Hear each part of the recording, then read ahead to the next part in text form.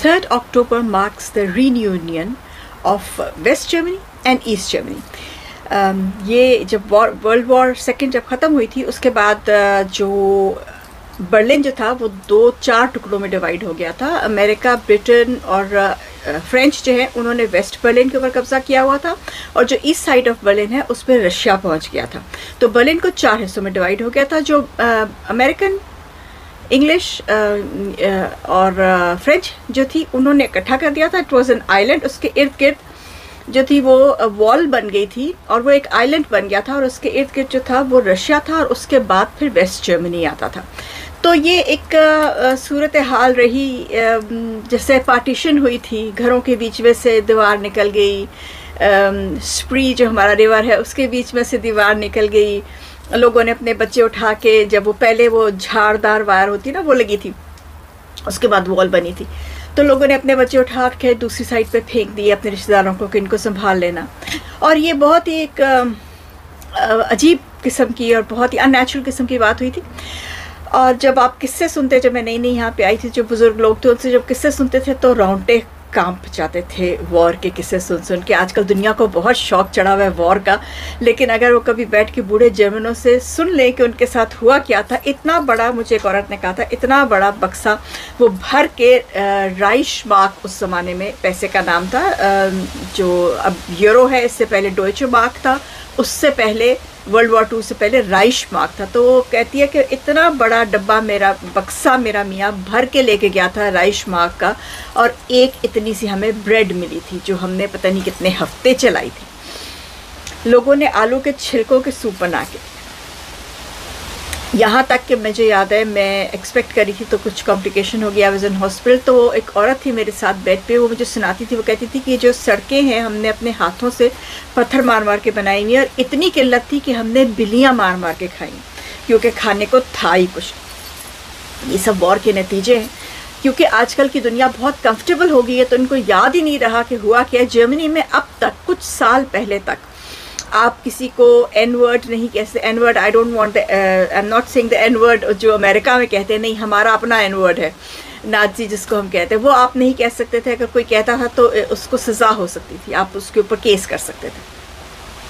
अब थोड़ा ज़रा आसान हो गया, क्योंकि लोगों के पास अब वो वो शिद्दत नहीं रही। लोगों की जनरेशन एक गुजर गई।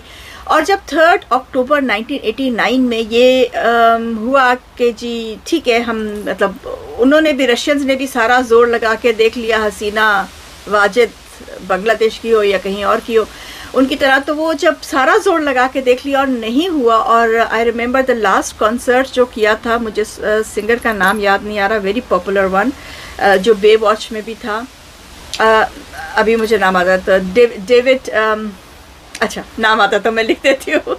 तो वो उसने और वो उसके साथ से करता और उन्होंने जब वो इतनी पावर है, उस चीज़ की, लोगों की इतनी पावर है कि जब लोगों ने इवेंचुअली निकल आए घर से तो डिसाइड कर लिया, तीन अक्टूबर 1989 को कि ठीक है ईस्ट और वेस्ट इकट्ठे हो जाएँगे। एक्चुअली जो दीवार खुली थी, वो 9 नवंबर को खुली थी तो एक्चुअली हमारा जो इंडिपेंडेंस डे है, वो 9 नवंबर को मनाना चाहिए, लेकिन 3 अक्टूबर को यहाँ पे ऑफिशियल छुट्टी होती। है तो इसको अब इकट्ठे हुए भी इतने साल हो गए।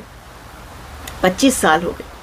लेकिन ईस्ट और वेस्ट के जो लोग हैं, उनके दिल आज तक नहीं मिल सके। जो अब नई जनरेशन आ रही है, उनको क्योंकि पता नहीं, उन्होंने वो चीज़ देखी नहीं है तो उनके दिमाग में वो चीज़ नहीं है तो वो नॉर्मल एक दूसरे से इंटरेक्ट कर रहे हैं। लेकिन जो ईस्ट और वेस्ट के जो पुराने जो ईस्ट में रहे हुए हैं और जो वेस्ट में रहे हुए हैं, वो एक दूसरे से कम्युनिकेट नहीं कर पाते।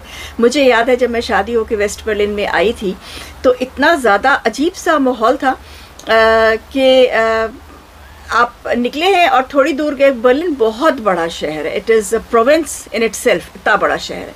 तो आप निकलते थे तो आधा पौना घंटा घंटे की ड्राइव के बाद you are leaving American sector you are entering British sector you are leaving British sector you entering French sector और हर जगह वो बंदूक लेके खड़े होते तो बड़ा अजीब सा ज़रा डरावना सा माहौल था। तो बर्लिन में लोग रहना ज़रा कम पसंद करते थे। तो आ, मेरे हस्बैंड की जॉब क्योंकि लुफ्तानजा में थी। लुफ्तानजा केटरिंग में थी वही वॉज़ यहाँ पे जो केटरिंग का सारा सिस्टम था, वो उन्होंने संभाला हुआ था। क्योंकि लुफ्तानजा को यहाँ पे लैंड नहीं करने देते थे। तो लुफ्तानजा क्लेवर थी उसने अपना केटरिंग उसने कहा जी, ठीक है, फिर लैंड नहीं करने देते हो तो केटरिंग सब हम करेंगे।